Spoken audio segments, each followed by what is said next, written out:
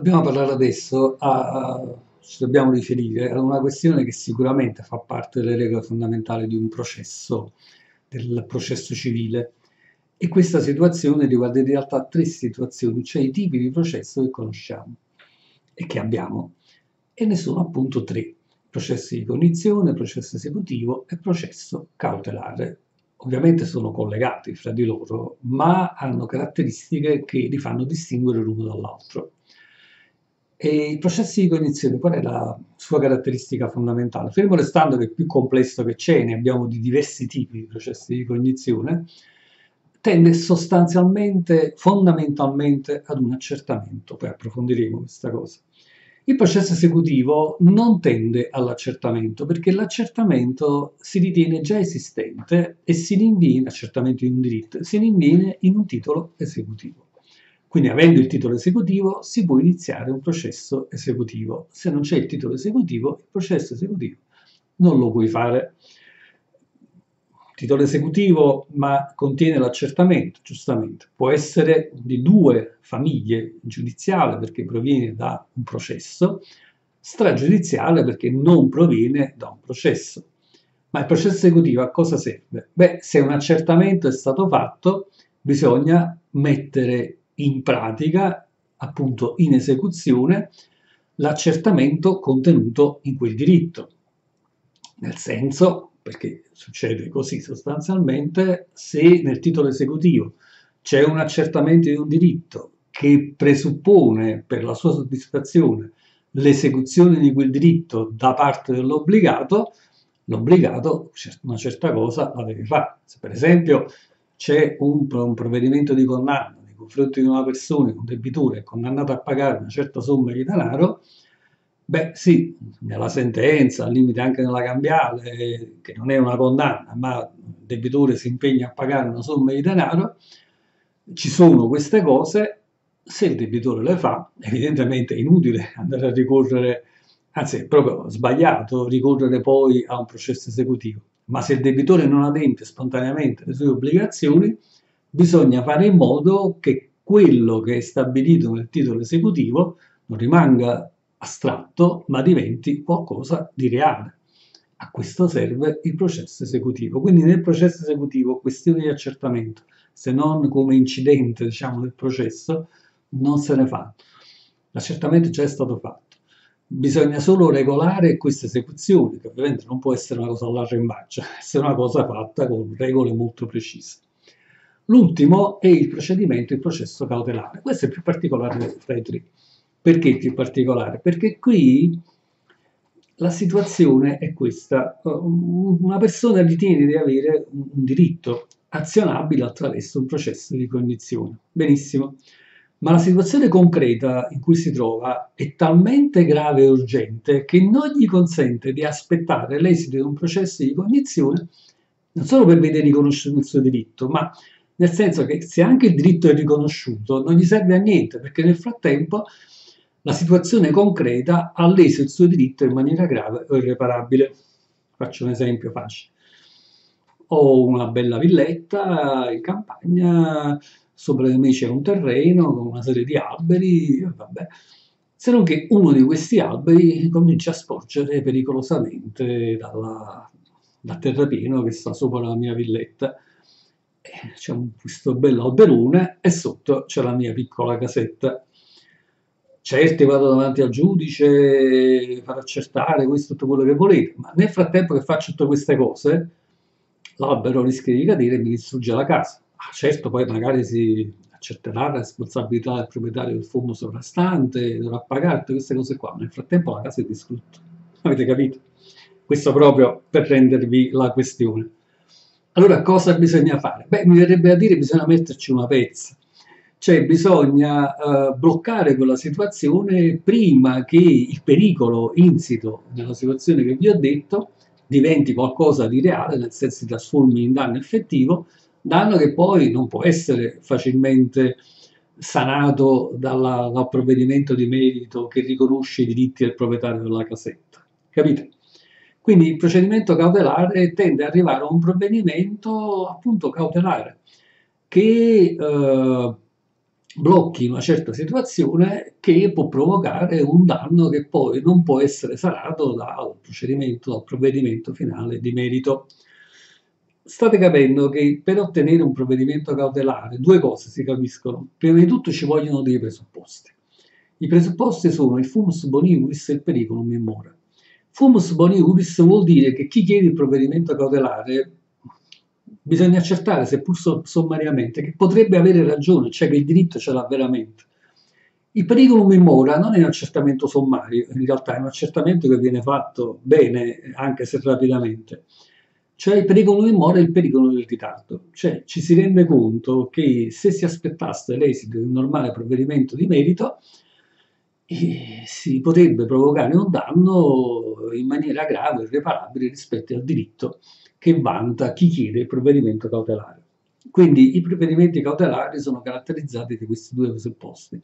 Fumus boniuris, probabilità che chi chiede il provvedimento cautelare abbia veramente il diritto, periculum in more, che è più di una probabilità, andare a vedere se la situazione è realmente pericolosa relativamente al danno che si può provocare a chi chiede il provvedimento cautelare. Danno che non potrebbe essere sanato, sanato con molta difficoltà, da un eventuale provvedimento di merito favorevole. Bene, sono questi tre qua. Io ho detto che il più complesso, forse non ve l'ho detto, ve lo dico adesso, il più complesso dei tre processi che conosciamo è quello di cognizione. Sia perché ce ne sono tanti tipi, ordinario, ordinari e speciali, tipo processo del lavoro e altre rite, insomma, che eh, spuntano come i funghi, verrebbe da dire ma anche perché nel processo di cognizione abbiamo tre tipi di azioni. Le azioni di accertamento, le azioni di condanna e le azioni costitutive. Tutte e tre si basano comunque su un accertamento, però sono molto diverse tra di loro. Partiamo dalla prima, la, la basica, la basilare, l'azione di accertamento. L'azione di accertamento si caratterizza proprio per un accertamento. Quello che si chiede al giudice è semplicemente di accertare l'esistenza o come, eh, quali sono i limiti del proprio diritto. Non si chiede altro. Non si chiede altro. Per esempio, posso andare avanti al giudice, il giudice, eh, sono veramente il proprietario di questo fondo? Mm? Senza chiedere più niente, l'azione di accertamento. L'azione di condanna è qualcosa di più e anche strutturalmente diverso perché le azioni di accertamento riguardano quasi sempre, se non sempre, i diritti assoluti. Quelle di condanna invece riguardano i diritti di credito, perché qui abbiamo un creditore che sostiene, asserisce di essere insoddisfatto nei confronti di un debitore che non ha adempiuto la sua obbligazione.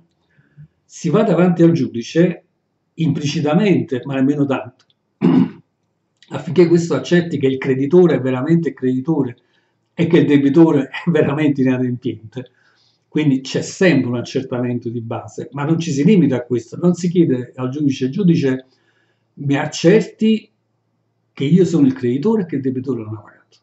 No, si chiede, se no non avrebbe molto senso la cosa, anche la condanna del debitore a eseguire la prestazione. Capito? Quindi alla base c'è sempre un accertamento, ma a questo accertamento si aggiunge una richiesta di condanna del debitore a fare che? A eseguire la prestazione inadempiuta, evidentemente.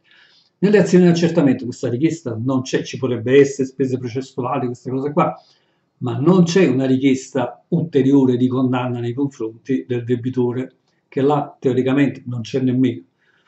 Quelle costitutive sono le più forse particolari perché eh, l'azione permette di far costituire, modificare e estinguere una situazione giuridica, una sentenza. Cioè la sentenza è quella che crea la situazione giuridica, la costituisce.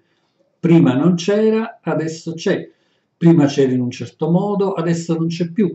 Capito? Quindi sempre alla base c'è un accertamento, perché se uno chiede al giudice una sentenza di natura costitutiva, comunque il giudice deve prima accertare che l'attore abbia il diritto che sta vantando, sostanzialmente.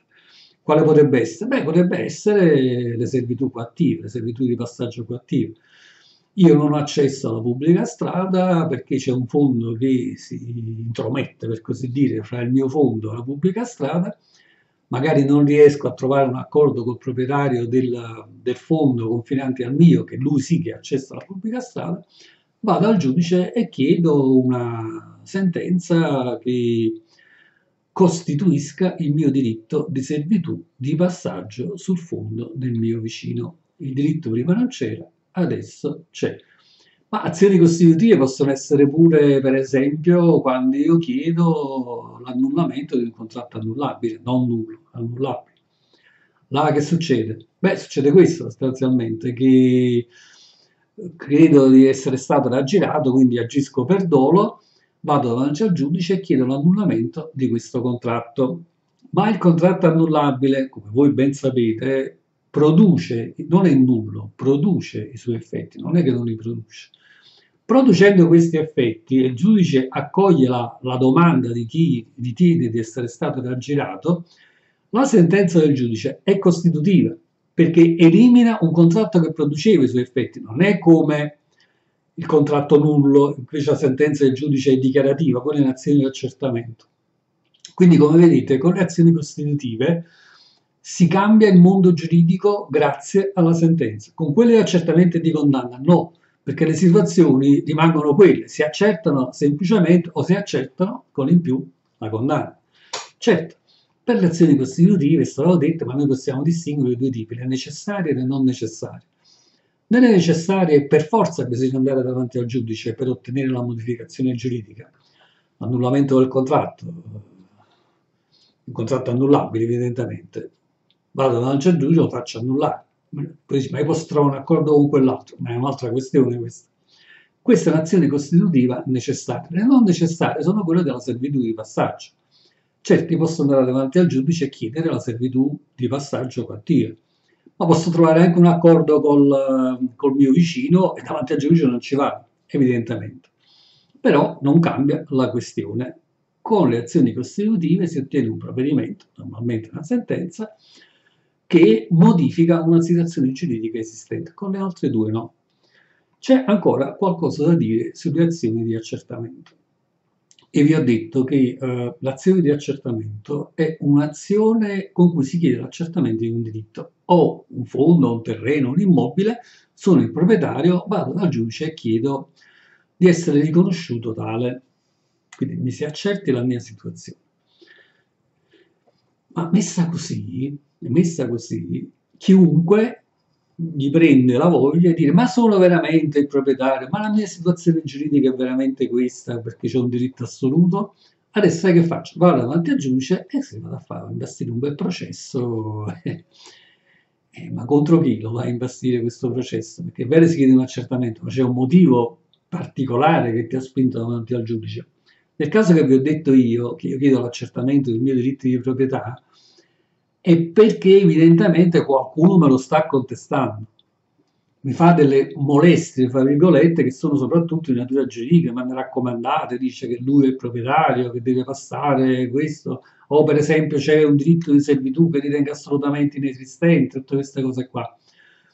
Allora sì che io vado davanti al giudice. Cioè l'azione di accertamento presuppone che il giudice accetti l'esistenza dell'interesse ad agire, che è una delle condizioni dell'azione di cui parleremo.